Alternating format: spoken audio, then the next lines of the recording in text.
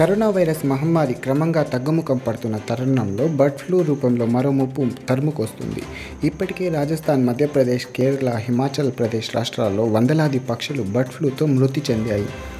దీంతో ప్రజలు అప్రమత్తంగా ఉండాలని వైద్య నిపుణులు సూచిస్తున్నారు.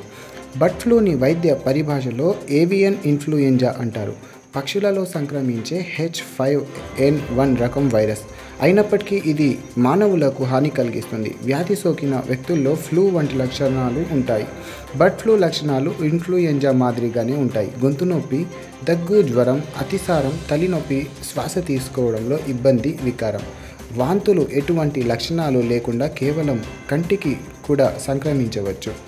బర్డ్ ఫ్లూ వైరస్లు రెండు రకాలు. మానవులలో అత్యంత సాధారణ రకం హెచ్ ఫైవ్ ఎన్ వన్ ఇది పక్షుల ద్వారా ప్రధానంగా వ్యాపిస్తుంది.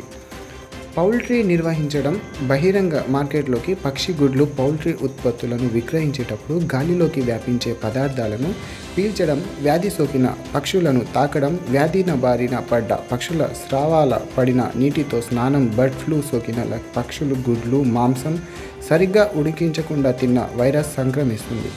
పూర్తిగా ఉడికించిన మాంసం లేదా గుడ్లు తినడం సురక్షితం. ఈ ఇన్ఫెక్షన్ సాధారణంగా ఒక వ్యక్తి నుండి మరో వ్యక్తికి వ్యాపించదు. లక్షణాలు కనిపించిన తొలి నలభై ఎనిమిది గంటల్లోనే ఔషధాలను తీసుకోవడం చాలా ముఖ్యం. మానవులలో ఈ వైరస్ సాధారణమైన యాంటీవైరల్ ఔషధాలకు నిరోధకతను అభివృద్ధి చేస్తుంది కాబట్టి ప్రత్యామ్నాయ ఔషధాలను సూచిస్తారు